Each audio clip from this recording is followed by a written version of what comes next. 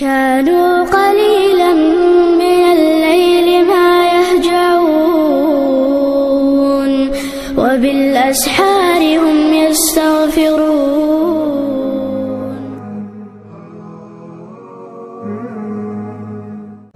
اچھا اب اللہ نے فرمایا کہ صرف یہ نہیں کہ ان کے چمڑے وَمِنْ أَصْوَافِهَا وَأَوْبَارِهَا وَأَشْعَارِهَا. کہ بکریوں کی جیسے آپ اون اتارتے ہیں، اسی طرح اونٹ کی آپ اون اتارتے ہیں اور اسی طرح بھیڑوں کی دمبو کی آپ اون اتارتے ہیں یعنی اون بھی ہے، بال بھی ہیں، اشعار بھی ہے، یہ بھی سب تمہارے نعمتوں کے لیے ہے۔ کیوں؟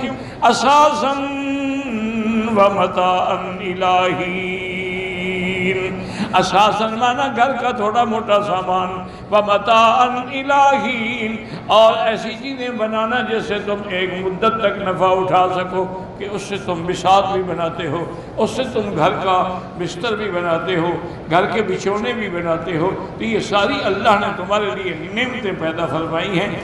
اور اس کے بعد فرمایا واللہ جعل لکم مما خلق ظلالا۔ اللہ تعالیٰ نے تمہارے لیے کتنا بڑا انعام فرمایا ہے کہ درخت بنا دیے ہیں جن کے سائے کے لیے تم بیٹھتے ہو۔ یہ اگر درخت کو سایہ نہ ہوتا تو میں درخت کس کام کا؟ تو اس لیے یہ بھی اللہ کی نعمت ہے کہ درخت بنا کے سَوَجَعَلَ لَكُم مِّنَ الْجِبَالِ أَكْنَانًا اور اللہ نے تمہارے لیے پہاڑوں کے اندر سرنگیں بنا دی ہیں، گھر بنا دیے ہیں۔ جیسے قوم آتن ہی دون من الجبال بیوتا۔ وہ پہاڑوں کو کھود کھود کے گھر بنا لیتے تھے۔ ہم تو پتھر توڑ کے بناتے ہیں۔ نہیں، وہ پہاڑوں کے کھودتے چلے جاتے تھے، اسی سے کمرے بناتے تھے۔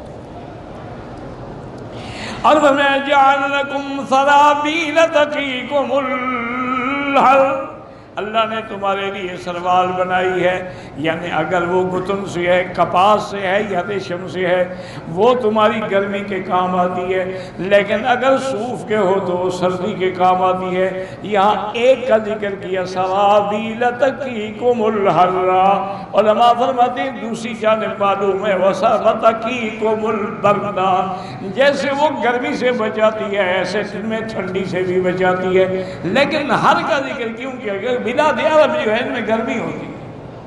ان میں سردی تو کبھی قسمت سے آتی۔ ورنہ ہمیشہ اسی لیے ملا علی قاری رحمت اللہ علیہ نے اللہ ان کی قبروں پہ کروڑوں رحمتیں فرمائے۔ اس نے بھی ایک مسئلہ نکلا یہی بات سمجھا کرو کہ فقہا اور علماء قرآن و حدیث سے موتی چنتے ہیں۔ وہ خود نہیں بناتے۔ یہی دھوکہ ہے لوگوں نو جی یہ قول ہے ابو حنیفہ پہ عمل کرتے ہیں، حدیث پہ عمل نہیں کرتے۔ ابو حنیفہ کا قول کہاں سے آ گیا وہ تو حدیث سے ماخوذ ہوگا یا قرآن سے ماخوذ ہوگا؟ تو اس لیے ہمیشہ یاد رکھیں کہ اللہ تعالیٰ نے ان کو، اب انہوں نے کہا کہ اس میں دو جواب ہیں۔ ایک تو تمہارے گرمی میں سردی کا خود بخود جز اول ذکر ہو گئی تو ثانی خود معلوم ہو گئی۔ لا من قال لا الہ الا اللہ، دخل الجنہ۔ جس نے کلمہ پڑھا ہو، حالانکہ محمد رسول اللہ نہ پڑھے تو جنت میں کہاں دے جائے گا؟ تو دوسری جو جو ہے، وہ خود بخود معلوم ہے۔ یعنی من قال لا الہ الا اللہ محمد الرسول اللہ دخل الجنہ اس لیے اللہ نے ایک کو ذکر فرمایا، دوسری چیز جو ہے وہ معلوم ہے۔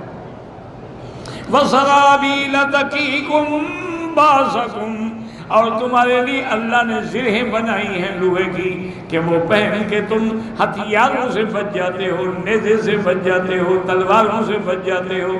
وہ بھی اللہ کی نعمت۔ کذالک یتم نعمتہ علیکم۔ اسی طرح اللہ تبارک و تعالیٰ نے اپنی نعمتیں تم پہ اپنی نعمتیں تم پہ پوری کر دی ہیں۔ اس کی وجہ کیا ہے؟ فرمایا تھا کہ تم مان لو اور اسلام لے کے اللہ کے دروازے پہ آ جاؤ۔ اس لیے فرماتی ہیں کہ آگے اس کے بعد فرماتی لَعَلَّكُمْ تُسْلِمُونَ تاکہ تم ایمان لے آؤ۔ فَإِن تَوَلَّوْا میرا مدنی اگر یہ پھر بھی ایمان نہ لے آئیں، اتنی نشانیاں دیکھنے کے بعد بھی نہ آئیں۔ کھائیں میرا، زمین میری، آسمان میرا، پانی میرا، ہوائیں میری، درخت میرے، لیکن پھر بھی مجھے نہ مانے تو آپ کے ذمہ تبلیغ ہے۔ آپ نے پہنچا دی، بات ختم۔ فَإِن تَوَلَّوْا فَإِنَّمَا عَلَيْكَ الْبَلَاغُ الْمُبِينَ۔ آپ نے کھلی کھلی بات پہنچا دی ہے۔ یعرفون نعمت اللہ ثم ينکرونها میرا مدنی، یہ اللہ کی نعمتوں کو جانتے ہیں، جاننے کے بعد انکار کرتے ہیں۔ وَأَكْثَرُهُمُ الْكَافِرُونَ۔ باوجود انکار کر کے کافر بنتے ہیں، حالانکہ اللہ کی نعمتوں کو کون نہیں جانتا ہے۔ آسمان کس نے بنایا، کون کہہ سکتا ہے؟ پیروں نے بنایا۔ یہ زمین کس نے پیدا کی ہے؟ کس پیر نے بنائی ہے؟ سات زمینیں ہیں کہ سات پیر ہیں یا ایک ہی پیر نے سات زمینیں بنائی ہیں؟ یہ جو ہوائیں چلتی ہیں، کون چلاتا ہے؟ پھر ہواؤں کی آٹھ قسمیں ہیں، چار عذاب کے لیے ہیں اور چار رحمت کے لیے ہیں۔ تو یہ کس نے پیدا سب اللہ کی نعمتیں۔ اگر تمہارے غور ہو جائے اور سمجھو کہ یہ اللہ کی نعمت ہے، پھر اللہ پر ایمان لے آؤ۔ اگر ان دلائل کے بعد بھی کوئی ایمان نہ لے آئے تو نتیجہ کیا ہے کہ پھر اس کو جہنم کی سزا ملے گی؟ اللهم أجرنا من النار اللهم أجرنا من النار والله أعلم.